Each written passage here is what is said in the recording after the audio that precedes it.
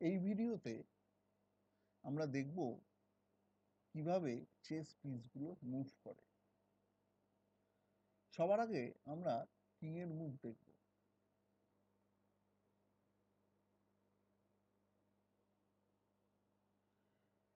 একটা কিং যে কোনো দিকে, দেখো ডট দিয়ে দেখানো রয়েছে কিং এর মুভটা যে কোনো দিকে কিন্তু একটা কিং একটা স্কোয়ার অ্যাট এ টাইম যেতে পারে। কিং কিন্তু যে কোনো দিকে একটা স্কোয়ার যেতে পারে। এখানে এলো। ব্ল্যাক কিংটাও দেখো ব্ল্যাক কিং এর মুভগুলো ডট দিয়ে দেখানো হয়েছে। ব্ল্যাক কিংও কিন্তু যে কোনো দিকে একটা স্কোয়ার যেতে পারে। একটা স্পেশাল মুভ আছে ক্যাসলিং শুধুমাত্র সেই ক্যাসলিং এর ক্ষেত্রে কি দুটো স্কোয়ার অ্যাট এ টাইম যায়। এছাড়া কিন্তু কোনো অবস্থাতেই কিং তার চতুর্দিকের স্কোয়ারে একটা স্কোয়ার যেতে পারে, তার বেশি যেতে পারে না।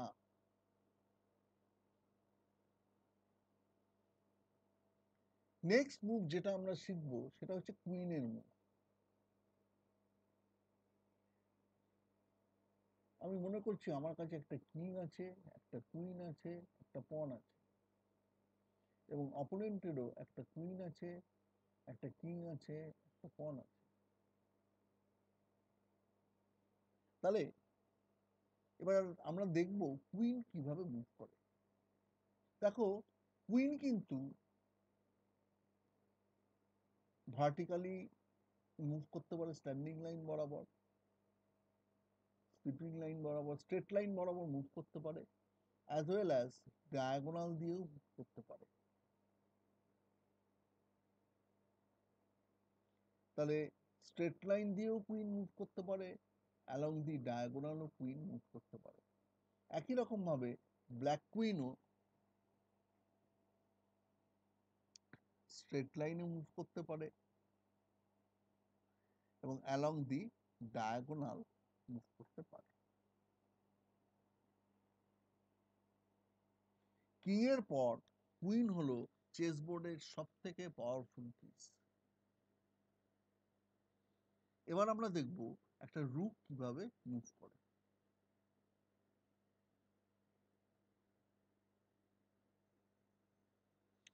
মনে করি আমাদের একটা কিং আছে, একটা রুক আছে, একটা পন আছে।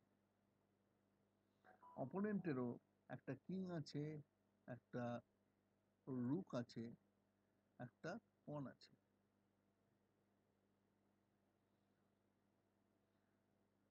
দেখো, একটা রুক কিন্তু along the straight line move করতে পারে।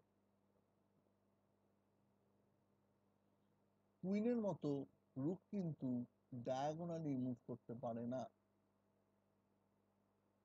একই রকম ভাবে ব্ল্যাকের কুইনও along the straight line move করতে পারে।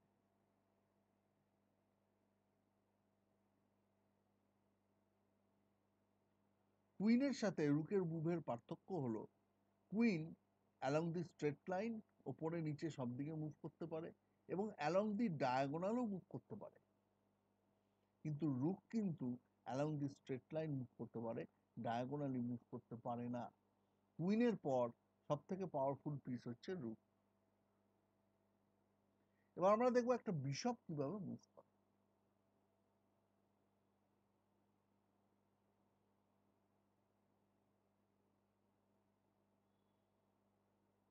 মনে করছি আমার কাছে একটা কিং আছে, একটা বিশপ আছে, একটা পন আছে।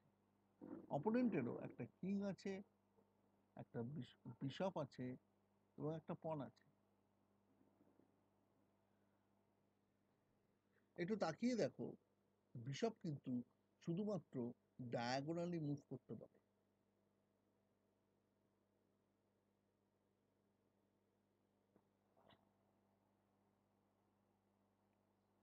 বিশপ শুধুমাত্র ডায়াগোনালি মুভ করতে পারে অ্যালং দি ডায়াগোনালস মানে কোনাকুনি মুভ করতে পারে। সুতরাং আমরা বলতে পারি যে একটা কুইন হচ্ছে একটা রুক এবং একটা বিশপ তার কারণ একটা রুক সোজাসুজি মুভ করতে পারে এবং কুইন বিশপ ডায়াগোনালি মুভ করতে পারে। কুইন কিন্তু সোজাসুজি ডায়াগোনালি সব দিকে মুভ করতে পারে। তাহলে আমরা বলতে পারি একটা কুইন হচ্ছে একটা রুক এবং একটা বিশপের পাওয়ারের সমান। তার থেকেও বেশি। কেননা একটা বিশপের পয়েন্ট হচ্ছে থ্রি একটা রুকের পয়েন্ট হচ্ছে five five plus three eight হয়। কুইনের পাওয়ার কিন্তু নাই তাহলে একটা বিশপ এবং একটা রুকের শক্তির থেকেও একটা কুইনের শক্তি বেশি। নেক্সট যে পৃষ্ঠার মুভ আমরা শিখব, সেই পৃষ্ঠার মুভ শেখাটাই সব থেকে জরুরি। এবং সেটা সব থেকে কঠিন। সেটা হচ্ছে নাইট মনে করছি আমার কাছে একটা কিং আছে, একটা নাইট আছে এবং একটা পন আছে। আমার অপোনেন্টেরও একটা কিং আছে, একটা নাইট আছে, একটা পন আছে। দেখো, একটা নাইট কিন্তু কীভাবে মুভ করে সেটা দেখো টু স্কোয়ার গেল তারপর বাদিকে একটা স্কোয়ার অথবা ডান দিকে একটা স্কোয়ার ডান দিকে একটা স্কোয়ার অথবা বাদিকে একটা স্কোয়ার টু স্কোয়ার গেল এইদিকে। এই এই স্কোয়ারটা কিন্তু নাইটটা আসতে পারবে না। তার কারণ হচ্ছে এই স্কোয়ারে কিং বসে আছে। আবার নিচের দিকে এরম এসে এইদিকে একটা এইদিকে একটা। আবার একই রকম ভাবে এইদিকে এসে এইদিকে একটা এইদিকে একটা দুটো স্কোয়ার ওপরে অথবা দুটো স্কোয়ার নিচে বা দুটো স্কোয়ার বায়ে অথবা দুটো স্কোয়ার ডানে এসে ওপরে নিচে বা বাদিকে ডান দিকে তোমরা সবসময় একটা এল এর এল প্যাটার্নের কথা ভাববে। এই দেখো এটা একটা এল আবার এইটা একটা এল আবার এইটা একটা এল আবার এইটা একটা এল নাইটের মুভমেন্ট কিন্তু এল প্যাটার্নের মতো হয়। দুটো স্কোয়ার গিয়ে তারপর এল এর মতো বেঁকে আসা।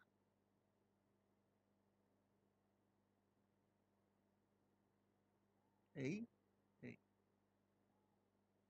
তোমাদের যে বুকলেটটা দেওয়া হয়েছে, সেটাতে কিন্তু সুন্দরভাবে সবকিছু দেখানো আছে।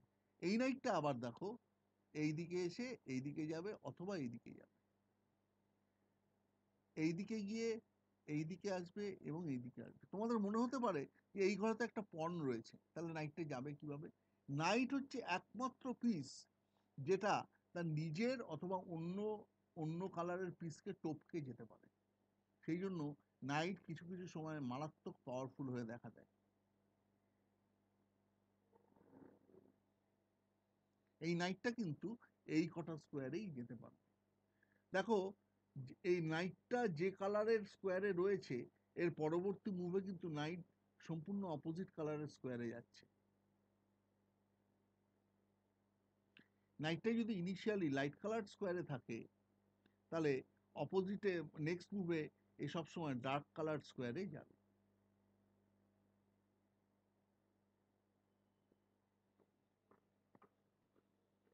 এই নাইটের মুভ আমি তোমাদের বলব যে ভিডিওটা বারবার দেখতে এবং নাইটের মুভটা কিন্তু বারবার প্র্যাকটিস করতে। এই এই প্যাটার্নটা মাথায় রাখবে। এক, দুই, আড়াই। দেখো, এক, দুই করে ডান দিকে অথবা বাঁ দিকে যাচ্ছে। নিজেদের বোর্ডে এই মুভটা বারবার প্র্যাকটিস করবে। এই নাইটের মুভ কিন্তু সব থেকে কঠিন। এবং নাইট কিন্তু কোনো কোনো সময় মারাত্মক পাওয়ারফুল একটা পিস হিসেবে দেখা দেয়। সুতরাং নাইটের মুভ শেখাটা খুব জরুরি। নেক্সট যে মুভটা আমরা শিখব যে পিসটা সেটা হচ্ছে পন মনে করছি আমার কাছে একটা কিং আছে এবং একটা পন আছে। আমার অপোনেন্টের কাছেও একটা কিং আছে এবং একটা পন আছে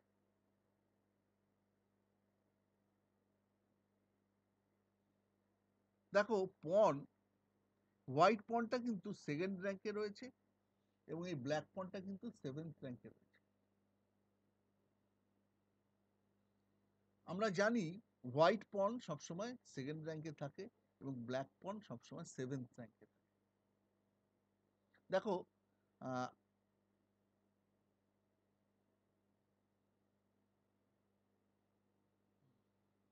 চেস বোর্ডটা কীভাবে সাজানো হয়?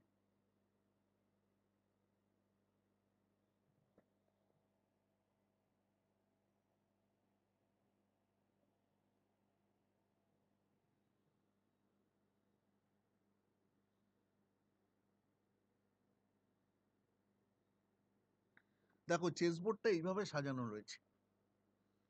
কিং কুইন দেখো হোয়াইট কিং কিন্তু ব্ল্যাক স্কোয়ারে রয়েছে। কিং রয়েছে ই ওয়ানে কুইন রয়েছে ডি ওয়ানে এইটা হচ্ছে কিং সাইড এইটা হলো কুইন সাইড দেখো কিং এর পাশে রয়েছে প্রথমে বিশপ তারপর নাইট তারপর রুক কুইনের পাশেও একই রকম ভাবে প্রথমে রয়েছে বিশপ তারপর নাইট তারপর রুক আর দেখো সেকেন্ড র্যাঙ্কের পুরোটা জুড়ে রয়েছে কিন্তু পণ আটটা পণ রয়েছে।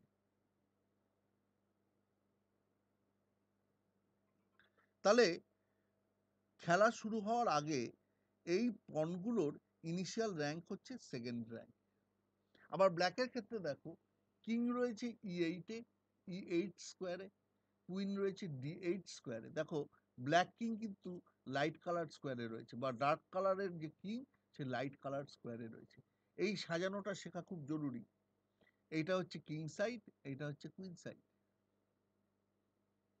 এটা হচ্ছে কুইন সাইড তাহলে কিং এর পাশে রয়েছে বিশপ বিশপের পাশে নাইট নাইটের পাশে রুক দেখো, প্রত্যেকটা সেম পিস কিন্তু মুখোমুখি রয়েছে। বিশপের উল্টো দিকে বিশপ কিং এর উল্টো দিকে কিং, কুইনের উল্টো দিকে কুইন, আবার এই বিশপের উল্টো দিকে ওই বিশপ, এই নাইটের উল্টো দিকে ওই নাইট এবং এই রুকের উল্টো দিকে ওই রুক আবার দেখো, এখানে এইট র্যাঙ্কে কিন্তু সমস্ত ব্ল্যাক পনগুলো রয়েছে। তাহলে ব্ল্যাক পনেরো সেভেন্থ র্যাঙ্কে সরি ব্ল্যাক পনেরো ইনিশিয়াল র্যাঙ্ক হচ্ছে সেভেন্থ র্যাঙ্ক এবার তাহলে এখানে চলে আসি। তাহলে যেটা বলেছিলাম যে একটা হোয়াইট পনেরো ইনিশিয়াল র্যাঙ্ক হচ্ছে সেকেন্ড র্যাঙ্ক এবং একটা ব্ল্যাক পনেরো ইনিশিয়াল র্যাঙ্ক হচ্ছে সেভেন্থ র্যাঙ্ক এই ইনিশিয়াল র্যাঙ্ক থেকে একটা পন কিন্তু তার ফার্স্ট মুভে দুঘর যেতে পারে সোজাসুজি এবং পন কিন্তু কখনো পেছনের দিকে আসতে পারে না, এটা কিন্তু আসতে পারে না। পন সবসময় সামনাসামনি যায়। পন কিন্তু পেছনের দিকে ব্যাক করতে পারে না।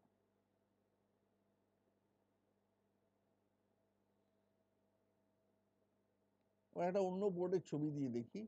ধরো, আমার কাছে একটা কিং আছে। দুটো পণ আছে। অপোনেন্টেরও একটা কিং আছে। দুটো পণ আছে।